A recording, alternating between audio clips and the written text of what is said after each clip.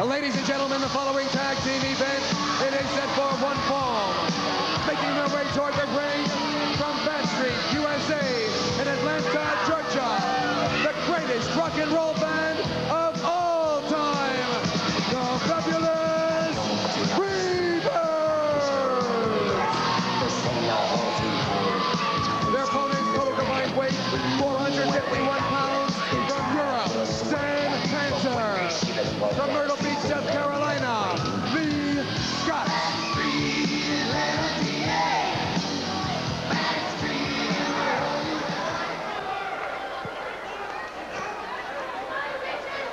Let's hear what the Southern boys had to say about the birds.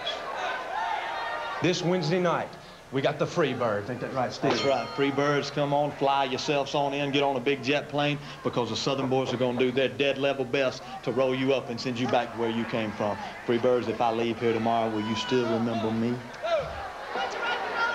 Jimmy Jam Garvin, Zan Panzer, Lee Scott Zan Panzer, the opposition to a team that has held it all. You're talking about regional, national, international titles.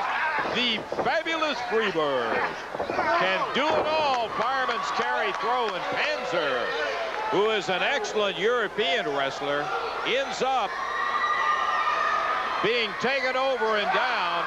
And while they're in the ring, we're delighted to have as our special guest commentator the U.S. heavyweight champion, the total package, Lex Luger. Lex, Totally thanks for being out. I decided to jump right in here, Lance. I hope you don't mind. Thank you, buddy. We appreciate you coming out here as uh, everybody is really anticipating Lex Luger being 110%, as they say. I can guarantee you I'm there right now, Lance. In the shape of my life, baby. All right. That's the kind of guy I like to I hear. heard just a while ago some of the Southern boys' comments for the Freebirds here. They have an easy time it here. They're in control, but I guarantee it's going to be a different story in the clash, not only for the Freebirds, but for a lot of people out there. The uh, Southern boys, good young team. Of course, you're dealing with a lot of experience here, Lex, and it pays off a lot of times in the long run. They've got the maturity factor, and they also like to cut corners. But Southern boys have to be yes, they do. that. They must be aware of that. Outside the ring, Jimmy Jam looking down on Lee Scott, who's below the ring as Michael comes over to see. Ah, I knew it. You couldn't take There's that shortcut, Lex. Yes, sir. You called it, Lex. He took the opportunity, couldn't pass it up. Referee Mike Atkins over there as Lee Scott climbs back under, and Lee Scott's a good young wrestler also.